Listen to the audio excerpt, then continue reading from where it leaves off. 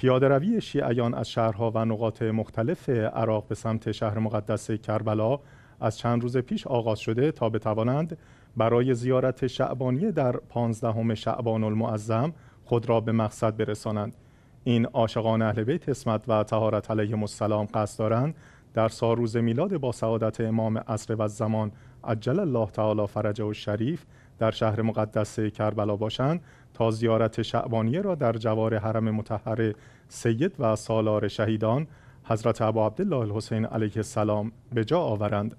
بر اساس مشاهدات خبرنگار خبرگزاری اخبار شیعه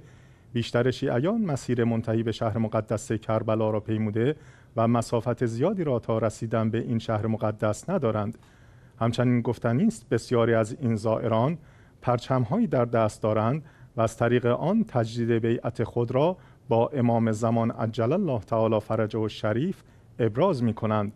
تا به این لحظه آمار رسمی و دقیقی از تعداد زائرانی که در نیمه شعبان در شهر مقدس کربلا حضور خواهند داشت در دست نیست اما پیش بینی می شود مانند سالهای گذشته تعداد زائران میلیون ها نفر باشد.